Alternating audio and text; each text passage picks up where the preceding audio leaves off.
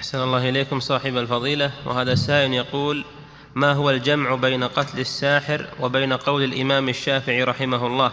إن الساحر لا يقتل حتى يقال له صف لنا سحرك. هذا قول وهذا قول ما بينهم تعارض هذا اجتهاد وهذا اجتهاد وكل له وجهة نظره فلا نعارض قول الشافعي بقول إمام آخر. هذه اجتهادات وما ترجح منها بالدليل يؤخذ به. والذي ترجح بالدليل أن الساحر يقتل. على كل حال لقوله صلى الله عليه وسلم حد الساحر ضربه بالسيف.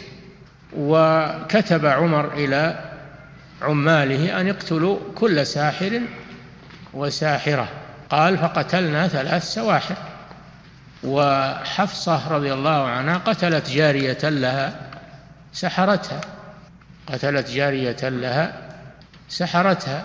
هذا أعمال الصحابة.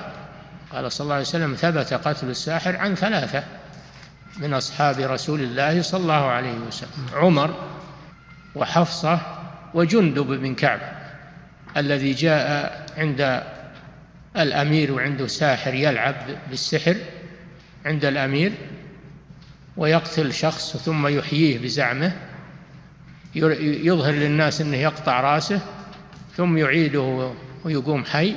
وهو ما يقطع. هذا من باب القمرة من باب القمرة وسحر الأعين. فجاء جندب مشتملا على السيف ولما قرب منه ضربه وقطع رأسه وقال إن كان صادقا فليحيي نفسه. فثبت قتل الساحرة عن ثلاثة من صحابة الرسول صلى الله عليه وسلم ولم يذكر أنهم استتابوه لأن الساحر وإن أظهر التوبة فهو كاذب ما يصدق في توبته زنديق. نعم